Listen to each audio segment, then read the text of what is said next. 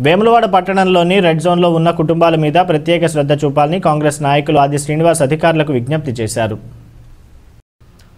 బుధవారం రోజున ఆది శ్రీనివాస్ నివాసంలో జరిగిన ఓ కార్యక్రమంలో చిరు వ్యాపారులు పేద కళాకారులకు నిత్యావసర వస్తువులు పంపిణీ చేశారు. ఈ సందర్భంగా ఆయన మాట్లాడుతూ వేములవాడ పట్టణంలో సుభాష్ నగర్ ప్రాంతాన్ని రెడ్ జోన్గా ప్రకటించడం వల్ల అక్కడి ప్రజల ఇబ్బందులను వారి సమస్యలను పరిష్కరించడానికి అధికారులు అందుబాటులో ఉండాలని కోరారు.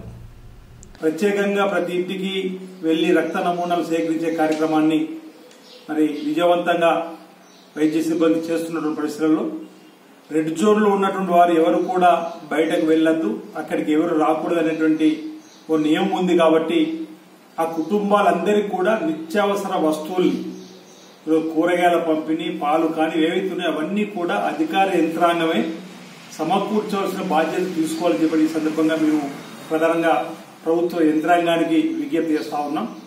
దానితో పాటు ఈ ప్రభుత్వం రాష్ట్ర వ్యాప్తంగా తెలంగాణ రాష్ట్ర వ్యాప్తంగా కూడా ప్రతి ఒక్కరికి పన్నెండు కిలోల బియ్యంతో పాటు పదిహేను వందల రూపాయలు ఇచ్చేటువంటి కార్యక్రమాన్ని మరి చేస్తామని ఇచ్చినటువంటి హామీ.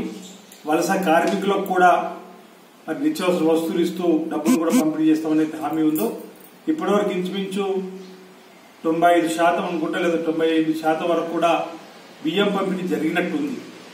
ఒకటో రెండో పర్సెంట్ ఇంకా అక్కడక్కడ మిగిలిపోయిన వారిని కూడా గుర్తించి వారికి బియ్యం పంపిణీతో పాటు పదిహేను వందల రూపాయలు ఏవైతే పంపిణీ చేస్తా ఉన్నారో అక్కడక్కడ నిన్న నుంచి ప్రారంభమైంది ఈ రోజు కూడా అక్కడక్కడ ప్రారంభమైంది అనేటువంటి మాట వినపడతా ఉంది.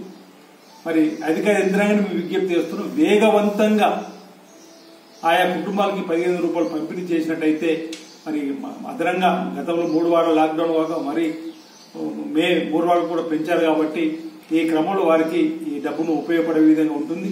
అయినప్పటికీ ఇంకా పేదవారు ఎక్కడైనా ఉన్న వారిని గుర్తించి వారిని కూడా ఆదుకునేటువంటి కార్యక్రమాన్ని చేయవలసిన బాధ్యత ఈ ప్రభుత్వం పెరిగిందని మాట ఈ సందర్భంగా మరి ఈ ప్రభుత్వానికి విజ్ఞప్తి చేస్తూ కరోనా మహమ్మారిని మనం మన ప్రాంతం నుంచి ప్రారంభించడానికి మన ప్రజారోగ్యాన్ని కాపాడుకోవడానికి ఈ దేశం నుంచి మహమ్మారిని పంపించడానికి ప్రతి ఒక్కరు కూడా రాష్ట్రము కేంద్రము చెప్పేటువంటి ప్రభుత్వ సూచనలు పాటిస్తూ మనం ఐకమత్యంగా ముందుకు సాగుదామని చెప్పి సందర్భంగా తెలియజేస్తూ